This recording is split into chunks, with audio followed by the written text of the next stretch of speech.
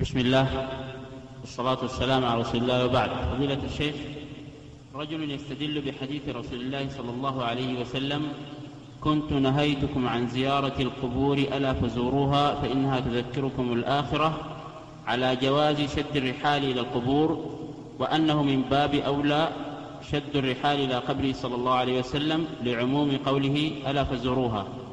وأنه ليس هناك وجه للاستدلال بحديث لا تشد الرحال إلا إلى ثلاثة مساجد على منع شد الرحال إلى القبور. فما قولكم؟ جزاكم الله خيرا. بسم الله الرحمن الرحيم. قولنا في هذا أن الواجب على المؤمن أن لا يستدل ببعض ببعض النصوص ويهمل الأخرى. فالشريعة الإسلامية صدرت من واحد. إلى واحد مبلغ. صدرت من الله عز وجل إلى محمد صلى الله عليه وسلم. فيجب علينا أن نجمع النصوص بعضها إلى بعض. فنقول إن النبي صلى الله عليه وسلم ثبت عنه أنه قال ألا قد كنت نعم كنت نهيتكم عن زيارة القبور ألا فزوروها فإنها تذكر الموت وفي لفظ تذكر الآخرة. هذا ثبت وهو عام. فزوروها. لم يخص النبي صلى الله عليه وسلم مكانا دون مكان ولا ذكرا دون أنثى.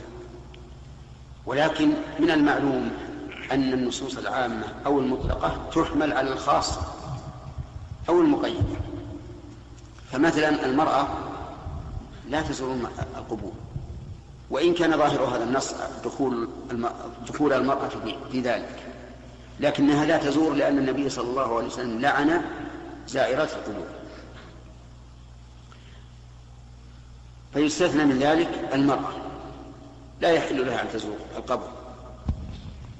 أيا كان حتى ولو كان قبر أبيها أو أمها أو أختها فإن ذلك حرام عليها.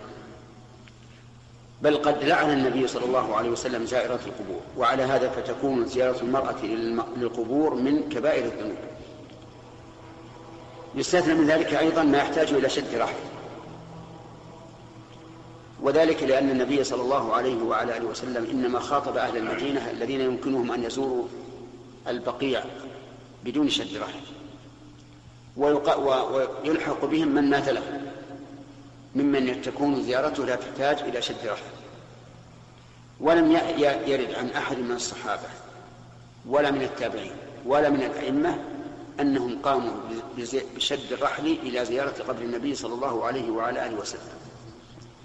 مع شدة محبتهم للرسول عليه الصلاة والسلام وشدة محبتهم للخير والرغبة فيه وتيسر الأمور لهم في بعض الأحوال. وحيث لم يكن ذلك من دأب السلف فإنه فإننا لا نحيد عن طريقهم. وأما قوله لا تشد إن هذا الحديث لا تشد الرحال إلا إلى ثلاث مساجد فهو محل خلاف بين العلماء. هل يدل على من شد الرحل. لأي مكان كان إلا للمساجد الثلاثة كما اختاره بعض العلماء وقال إن المراد النهي النهي عن عن شد الرحل لأي مكان كان. ومعلوم أن الذي يشد الرحل إلى المقبرة؟ ليس يتصل بالمقبور ويتحدث إليه ويؤنسه وإنما يزور المكان. أي في أي مكان كان هذا المقبور فهو يريد المقبور لا يريد لا يريد أن فهو يريد مكان القبر. لا يريد أن يدخل في القبر أو أن يخرج الميت إليه. ومن العلماء من قال إن هذا نهي عن شد الرحل إلى المساجد سوى المساجد الثلاثة.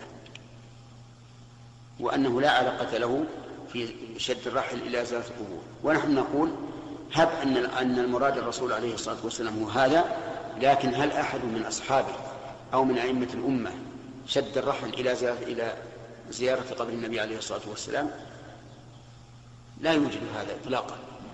وإذا لم يوجد فلنا فيه الأسوة فنقول لا تشد الرحل إلى زيارة قبر النبي صلى الله عليه وعلى آله وسلم.